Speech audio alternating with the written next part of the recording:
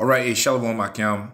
First and foremost, like to give all praises to Yahweh Bahashim, Yahweh Shai Bahashim Rakak Padash.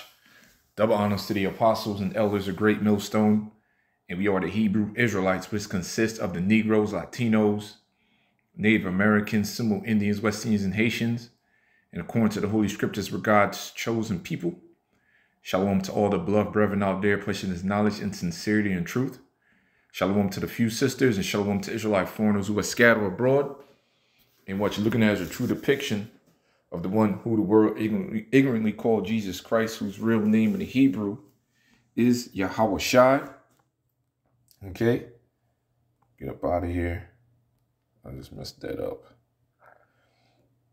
And what you're looking at is a true depiction of who the world ignorantly called God, the world ignorantly called Jehovah, whose real name in Hebrew is Yahweh. When you call upon the Most High and His Son, you must say Yahweh Bahashim, Yahweh Shai. Yahweh means He to be or He is. Bahashim means in the name, and Yahweh Shai means He delivers. Our Lord and Savior has come back to deliver the elect out of the nation of Israel from the destruction of modern day Babylon, aka America.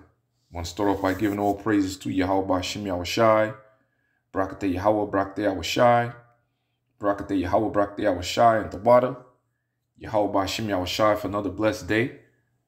Tawada Yahweh Bashim Yahweh for the apostles and the elders of Great Millstone. Tawada Yahweh Bashim Yahweh for this opportunity, this 100% truth. And Tawada Yahweh Bashim Yahweh for all you beloved brethren out there pushing this knowledge and sincerity and truth. Lord willing to the end. All right, coming back, catch you another lesson through the Holy Spirit. We're going to um, Isaiah chapter 2, verse 12 on down. A day of reckoning is coming. Not only a day of reckoning, it's the year of exposure. 2024, 2024 hopeful year of um, the time of Jacob's trouble. Also is the year of exposure a lot of things is coming out because the Most High is working throughout the earth. You got you got to realize the Father of spirits controls everything. The Father, all right, of spirits. Right. Hebrews 12 and 9. All right. I'm to start at verse uh, 7. If he endured chastening, God dealing with you as with sons. For what son is he whom the Father chasteneth not? So dealing with your trials and tribulations throughout this life. You understand? Throughout this journey. All right, this walk and this knowledge, wisdom, understanding. But if he be without chastisement, whereof all are partakers, then are he are bastards and not sons. So you you you know on a good track when you're going through some you know strange things and back to back situations. It's all good, you know, because you, you're suffering for your sins, and this is the passageway to you know to make it to the kingdom. Furthermore, we have fathers of our flesh, which corrected us. Some of us was fortunate to have our fathers in our life on a consistent basis. Some of us, you know, didn't have that. I was fortunate to have them here, you know, here a little, there a little. And I got corrected on different occasions, got my ass whooped on a few occasions, which I'm grateful for, you know. Was the same thing the Lord is doing with us, what different trials and tribulations we going through. Is this is all a learning process. It's one great education. And we gave them reverence honor thy father and thy mother, right? Shall we not much rather be in subjection unto the Father of spirits and live? The Father of spirits and live.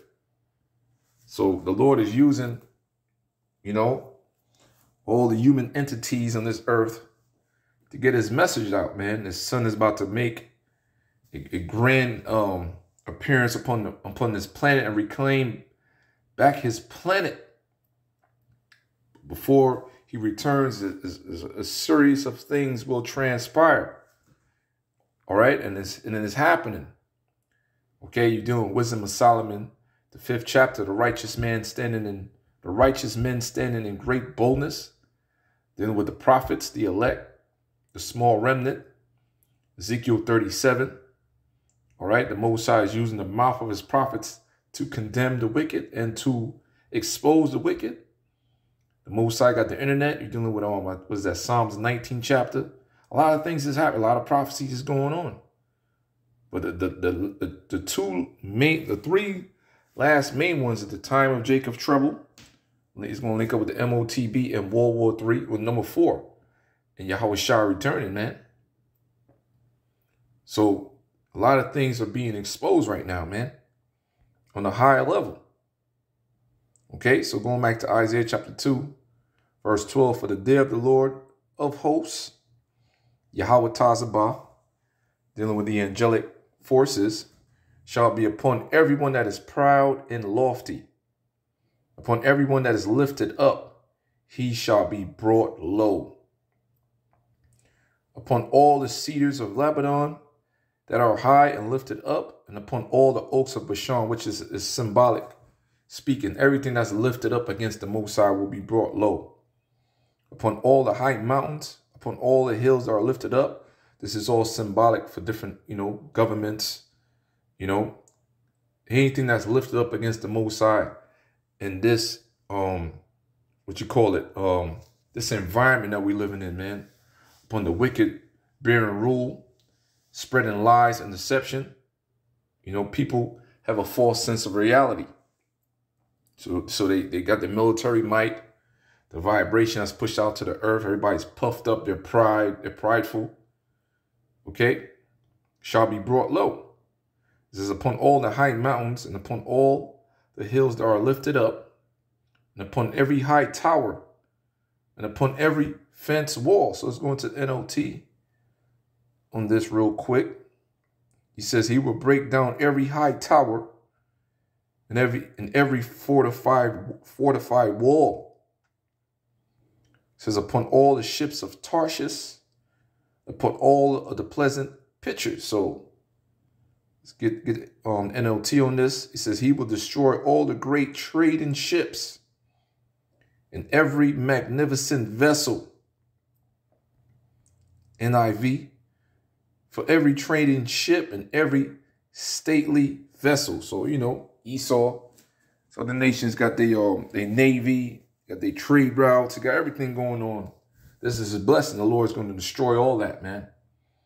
Because the new economy will be set up under his only begotten son, Yahweh Shai and 144,000. So this establishment that's been set up, Babylon being the golden cup, the beast, America, the EU, the Russians, the Chinese will be dismantled upon the second coming of our Lord and Savior, Hamashiach Yahweh who is a so-called black man from the tribe of Judah. It says, All the loftiness of men shall be bowed down, and the haughtiness of men shall be made low, and Yahweh Shem Yahweh Shai alone will be exalted in that day.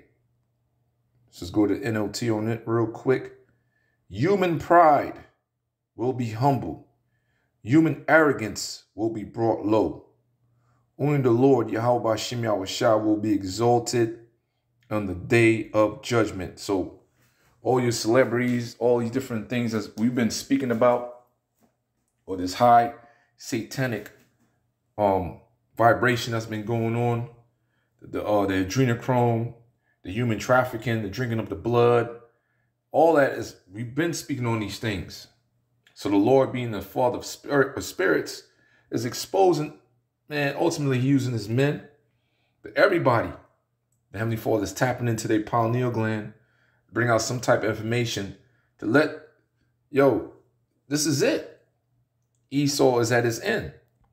Now peep this. I don't know if you noticed yet or not. I don't know if you noticed yet or not, but the age of secrets is over. The age of gatekeeping is over. The age of celebrity worshipping is over. The age of, wow, look at that guy, he has so much money. Worshipping that, over. We got Mark Zuckerberg building bunkers. Think bunkers are gonna save you? You're rich, privileged, soft, think you're gonna be able to live in the bunker? You know who lives in the bunker is the H group. And people like that and poor people, they're gonna survive. And how are you gonna come out of your bunker after that? What do you think we're gonna do to you after you come out of your bunker? What do you think? What do you think we're gonna teach our kids about the bunker people? You think we're gonna just let you build a bunker and after we t- you took all this money and you destroy the world? I don't know if you know. That's heavy, man. And that's that's what I'm. This is the vibration of the video. It is over. Everything is being exposed. It says, and the loftiness of men shall be bowed down, and the haughtiness of men shall be made low, and the Lord alone shall be exalted in that day. Here's the point. And the idols he shall utterly abolish. That's from your favorite athletes, actors, actresses, you name it. All, all this shit is being exposed. The Mossad just took out Jacob Rothschild. 13, there's actually 13 so-called elite banking families. And the, and the main, um, the, the heads of, the, of those families are Edomites, man. Right? So all your idols, everything will be abolished. Everything you coveted on this side, money, whatever, awards, belts, will be abolished. It's going to be for nothing. And the American dollar is going to crash. They're going to bring in another, um, they're going to bring in an, another uh, a form of, um, what they call it, a digital, um, digital currency. So your money, everything you save is going to be abolished. Here's the point to my Mark Zuckerberg. And they shall go into the holes of the rocks, into the caves of the earth, for the fear of the Lord and for the glory of his majesty, when he arises to shake terribly the earth, man. So all you so-called billionaires, millionaires, multi, whatever you building, you have bunkers out here in the United States, you're going to get buried in those bunkers. If you have bunkers outside United States, the Mossad is going to command his men to come down there and get you and pull you out of them bunkers and fuck you up and put chains on you. Because slavery is coming to you other nations. Stone over Esau. All right? That's the kingdom of heaven. The Israelites in rulership are you other nations will be serving us.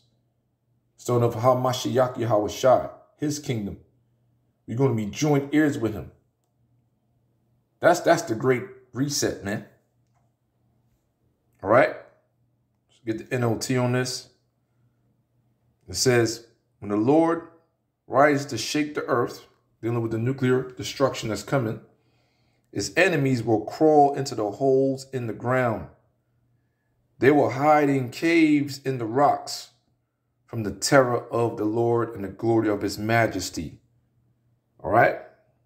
In that day, a man shall cast his idols of silver and his idols of gold, which they made each one for himself to worship to the moles and to the bats, to go into the clefts of the rocks and to the and into the top tops of the ragged rocks, dealing with the mountains and all that, for the fear of the Lord and for the glory of his majesty, when he arrived to shake terribly the earth, this globe, man.